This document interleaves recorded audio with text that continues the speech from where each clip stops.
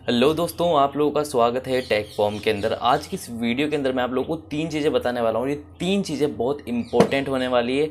आप लोगों को ये तीनों चीज़ें पता होनी चाहिए और ये बहुत काम की है। आप लोगों का समय भी बचेगा और सिक्योरिटी भी बढ़ेगी। तो जो सबसे पहली चीज़, जो ज़्यादातर होता है लोगों के साथ, पहली चीज़ ये होती है कि अगर आपका फ़ोन पानी के अंदर गिर जाए तो आप लोग क्या करेंगे? आप में से काफ़ी सारे लोग बस धूप में रख देते हैं फ़ोन को, फिर कहते हैं कि यार फ़ोन अभी तक सही नहीं हुआ।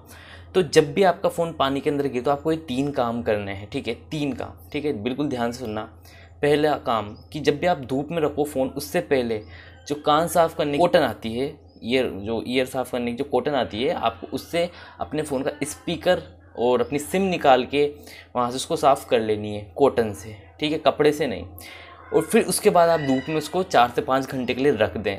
तो इससे क्या होगा? वो साफ़ भी हो जाएगी और उसके अंदर स्पीकर के अंदर जो पानी होगा, वो कॉटन सोख लेगा। ठीक है, उसके बाद फिर आपको तीसरा काम ये करना है, अगर फिर भी आपका फ़ोन सही ना हो तो चावल के डिब्बे के अंदर उसको पूरा पैक कर देना, चावल से भर देना और उसको पाँच से छः घंटे के लिए छोड़ देना। आपका फ़ोन स्टार्ट हो जाएगा हंड्रेड परसेंट हो जाएगा। और ये दूसरी हैक जो कि बहुत ज़्यादा काम आती है और मैं खुद इसको मैंने किया है।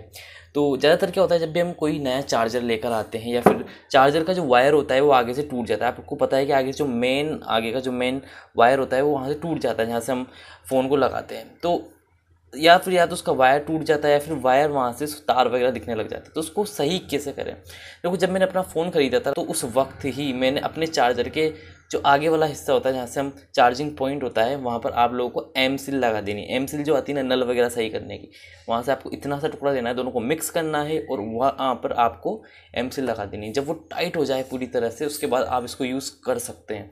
इससे ये होगा कि आपका जो चार्जर है, वो कभी भी मतलब तीन से चार साल का लाइफ टाइम चलने वाला है, एक बार लगानी, उसके बाद आपको वायर ख़राब होने की प्रॉब्लम नहीं आने वाली। खुद का पर्सनल एक्सपीरियंस और पर्सनल हैक है, आप लोग इसको ज़रूर करके दें गाइस और ये तीसरा हैक अगर आप लोग ट्रू कॉलर यूज़ करते हो तो आप लोगों को पता है कि जब भी कोई अननोन नंबर आता है ट्रू कॉलर कई बार नंबर नहीं बताता आइडेंटिटी नहीं बताता रियल में।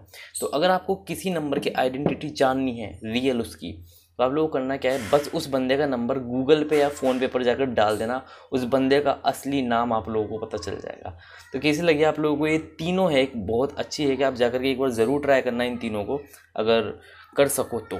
ठीक है तो अच्छी है कि और अच्छी लगी आप लोगों को ये वीडियो तो वीडियो को लाइक करना, चैनल को सब्सक्राइब करना, फिर हम इसी तरीके और वीडियोज़ लाने वाले हैं। तब तक के लिए स्टडी